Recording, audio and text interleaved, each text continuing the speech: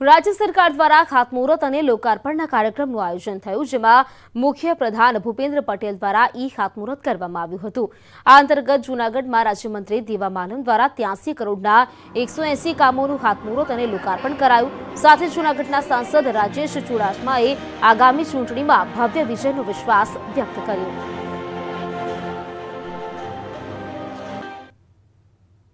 જુનાગઢ જિલ્લાના એકસો એંસી કામો અને ત્યાંસી કરોડ રૂપિયાના ખર્ચે આજે ઈ લોકાર્પણ અને ખાતમુહૂર્ત કરવામાં આવ્યા છે.